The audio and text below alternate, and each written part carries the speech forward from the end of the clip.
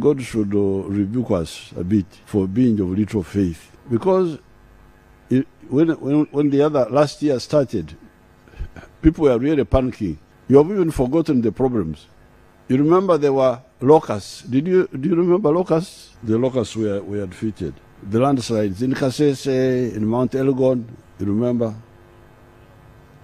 The rising waters of the lake. Then this corona.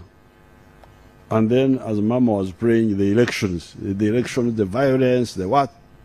We had also the problem of cattle rustlers uh, in Karamoja. And then we had the Bijambia.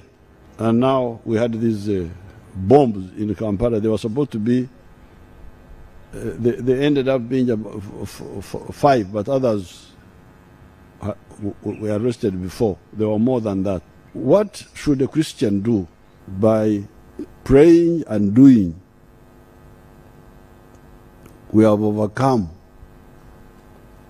I don't know how many calamities. I think there were like like seven.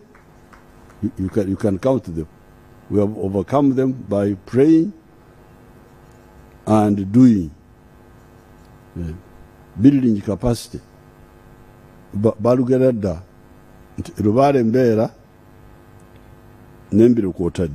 we don't coalesce ideas NRM is saying this, other people are saying that, traditional leaders are saying that.